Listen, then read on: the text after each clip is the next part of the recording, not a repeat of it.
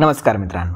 स्वागत आहे तुमचं आताच्या ब्रेकिंग न्यूजमध्ये मित्रांनो गेल्या काही दिवसांपूर्वी रिलायन्स जिओ वोडाफोन आयडिया आणि एअरटेल या टेलिकॉम कंपन्यांनी आपल्या इंटरनेटच्या दरामध्ये प्रचंड वाढ केली आहे.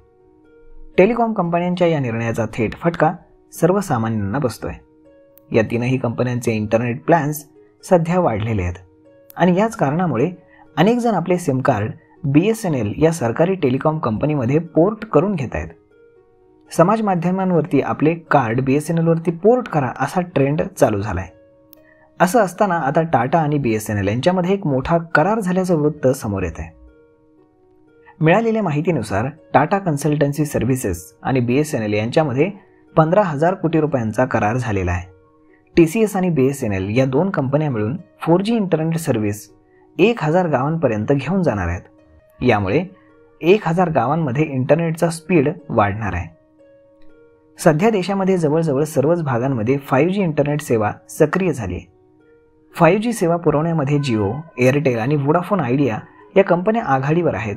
तर फोर जी इंटरनेट सेवेतही याच कंपन्या आघाडीवर आहेत. मात्र टाटा आणि बी एस एन एल यांच्यामध्ये झालेल्या करारामुळे बी एस एन एलची फोर जी इंटरनेट सेवा क्षेत्रामध्ये आणखीनच मजबूत होऊ शकते. यामुळे जिओ आणि एअरटेलसारख्या कंपन्यांचं टेन्शन वाढू शकतं.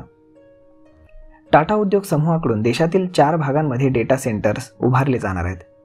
या डेटा सेंटर्सच्या माध्यमातून फोर जी सेवा आणखी मजबूत केली जाणार आहे.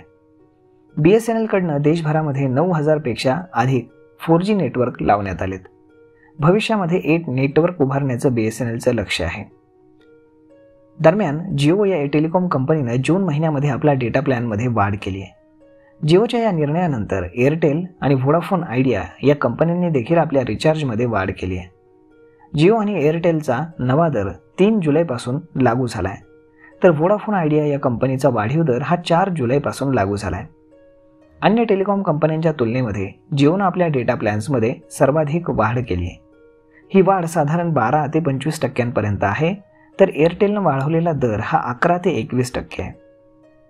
वोडाफोन आयडियानं वाढवलेला दर हा दहा ते एकवीस टक्के. याच वाढीविरोधात नेटकऱ्यांनी आपला राग सोशल मीडियावरती व्यक्त केलेला आहे.